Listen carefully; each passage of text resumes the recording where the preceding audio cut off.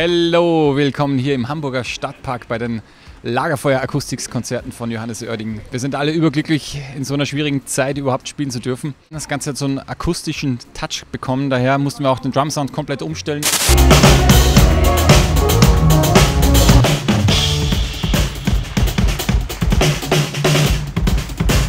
Eigentlich bin ich äh, Clear-Fell-Liebhaber.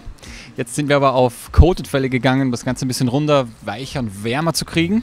Wir fahren normalerweise in dem großen Arena-Setup eigentlich ein komplettes Emperor Clear Kit oben. Nach vielen Experimentieren ähm, sind wir quasi in der Konstellation gelandet, dass wir uns für einen Ambassador Vintage Coated oben entschieden haben und für ein normales Ambassador Coated unten. Hintergrund ist eigentlich der, dass wir einfach aus der ganzen Testserie gesagt haben, dass das so quasi genau dieses, dieses Mittelmaß äh, darstellt zwischen dem Emperor Coated oben, was da tatsächlich ein bisschen zu wuchtig geklungen hat in dem Moment. Auf der Snare ähm, ein CS, das funktioniert einfach immer, P3 coated auf der Bassdrum.